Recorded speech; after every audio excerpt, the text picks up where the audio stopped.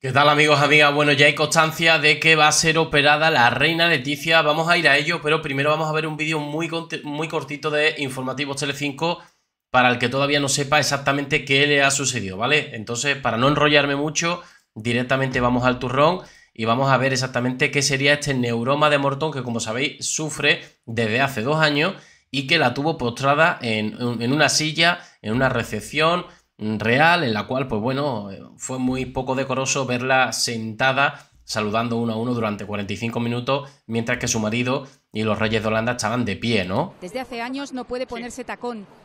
Cantan los tacones, tengo que venir con zapato plano. Plano, Josefa claro. sufría un dolor muy intenso que confundía con artrosis.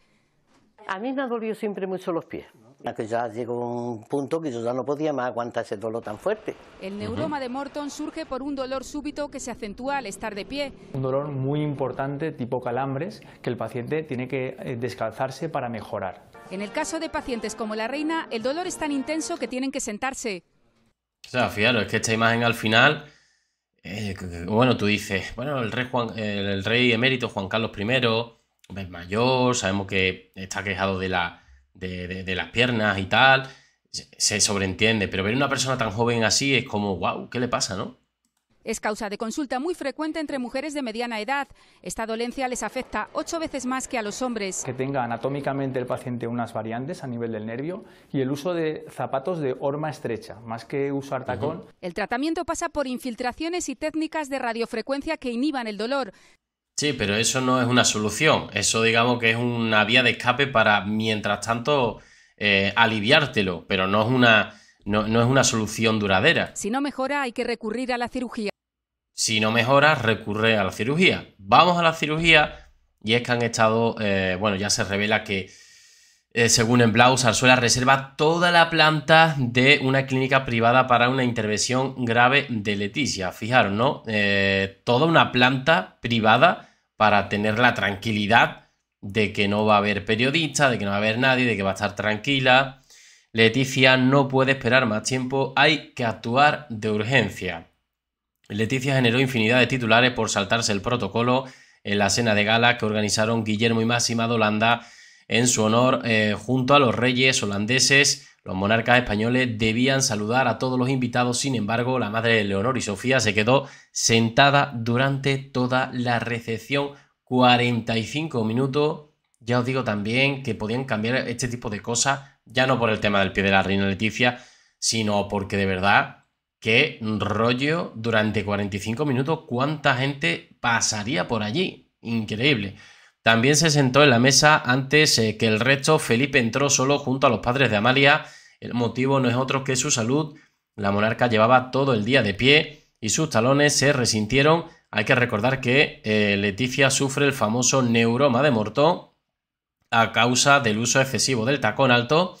Consiste en la irritación o engrosamiento de uno de los nervios de la planta del pie, que son los que dan sensibilidad a los dedos y se da principalmente en mujeres con pie estrecho y en la cuarta o quinta década de su vida.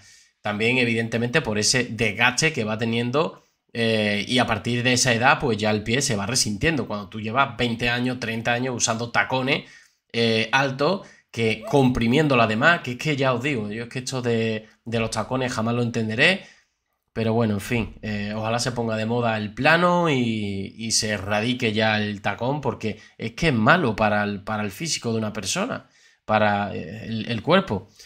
Bueno, ¿qué es el neuroma de Morton que sufre Leticia? Desde que conoció a Felipe, Leticia siempre ha tenido mucho complejo por su altura. El rey mide casi 2 metros y ella no llega a 1,70.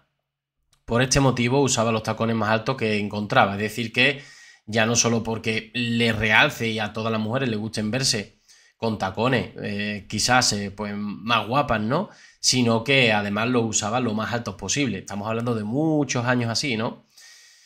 Por esto, eh, pero por precaución médica ha tenido que olvidarlos para siempre en el armario. No obstante, el otro día volvió con tacones, eso sí, tacones más bajitos, de unos 3-4 centímetros, pero oye, sigue poniéndose tacones, 3-4 centímetros alzada eh, en tacones sigue siendo un poco, eh, evidentemente, saltarse esta prescripción médica, pero bueno, en fin, ella misma no es recomendable su uso o podría incrementar su dolencia hasta el punto de no tener solución. Y yo creo que ya no la tiene. Si lleva dos años así, si dijera, le ha pillado en un, en un nivel muy, muy, muy, eh, en una fase muy inicial, pero es que lleva dos años así y lleva dos años con tacones.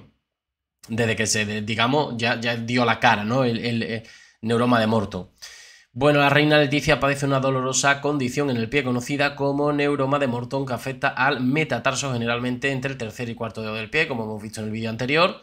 No obstante, esta no es la única dolencia en el pie que experimenta la madre de Leonor, ya que también ha sido diagnosticada con una metatarsálgica crónica, ¿vale? Bueno, las personas que padecen esta afección describen la sensación como si tuvieran un objeto incómodo dentro del zapato o una arruga en el calcetín. Fijaros lo que habéis padecido cualquier chorrada de esta, o sea, ya no, ya no digo una broma, sino ya, ya me entenderéis, pero simplemente el que haya tenido, como yo, una fascitis plantar o, una arruga del calcetín simplemente que decís, uff, o si, se os ha metido un chin, una piedra, ¿no? Eh, y decís, hay que ver, me lo tengo que quitar ya, ¿no? Pues imaginaros eso durante meses, durante años en el caso de la Reina Leticia, que lleva dos años así, y que por eh, antes muerta que sencilla, ¿no? Como dice la canción, al final ha preferido, eh, bueno, verse, verse más esterilizada o más alta, eh, poniendo en riesgo su propia salud. Bueno, a pesar de esto, no se observa ningún signo visible de enfermedades del exterior. Leticia deberá ser intervenida de urgencia. Vamos aquí con la información sobre esta operación. La soberana, incapaz de soportar el malestar, se vio obligada a abandonar el uso de zapatos de tacón alto para prevenir complicaciones adicionales. Fijaros que al final esto, eh, bueno, puede quedar como una anécdota, pero que no ha gustado a Casa Real y a esto hay que ponerle solución. O sea, eso no, mm, un día mira, pero imaginaros que esto es constante. Cada vez que va a un evento, un discurso sentada, otra recepción eh, o, ir en silla de ruedas porque no puede caminar en ese momento. Sería un poco lamentable cuando es algo que, bueno, se puede solucionar.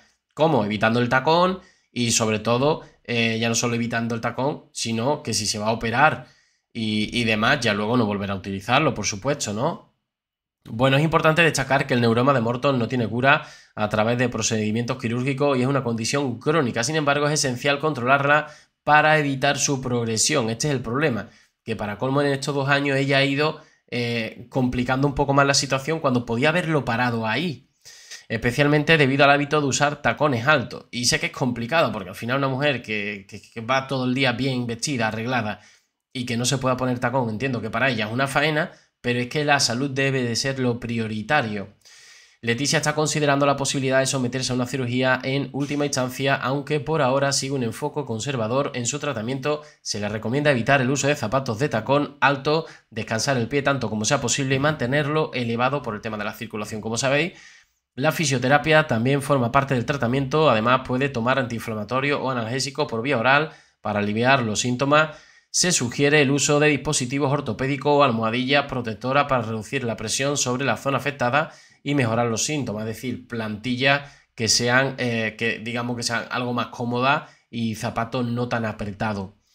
En caso de dolor intenso o persistente, eh, se puede realizar inyecciones con corticoides y anestésicos que esto ya os digo que es un engañabobo, sí, te viene muy bien para una semana, varios días, pero ya luego el problema sigue estando ahí. Especialmente si el paciente muestra resistencia a este tipo de intervención, sin embargo los beneficios de estas inyecciones suelen ser temporales, como os estaba diciendo. Bueno, Leticia podría optar por la cirugía en un futuro cercano, lo que requeriría un periodo de reposo médico de aproximadamente dos semanas. La situación ya no puede esperar más y se considera urgente, así que estamos a la espera de saber cuál es la clínica privada que habrían eh, bueno, contratado una planta entera para su privacidad. Y una vez que lo sepa, pues evidentemente lo diremos aquí y veremos cuánto sería el tiempo de baja. Un médico ayer, un doctor eh, en televisión, estuvo diciendo que aproximadamente entre mes y mes y medio podría estar de baja. Baja rehabilitación, entre baja y rehabilitación, ¿vale? Eh, posoperatorio. Así que nada, hasta aquí os puedo contar. Nos vemos en el siguiente vídeo. Espero vuestros comentarios. Un saludo.